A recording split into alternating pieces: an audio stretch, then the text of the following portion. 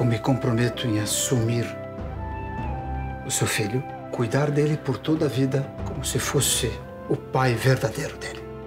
Mas, por favor, não estrague o casamento do meu Raj. Que resposta você me dá?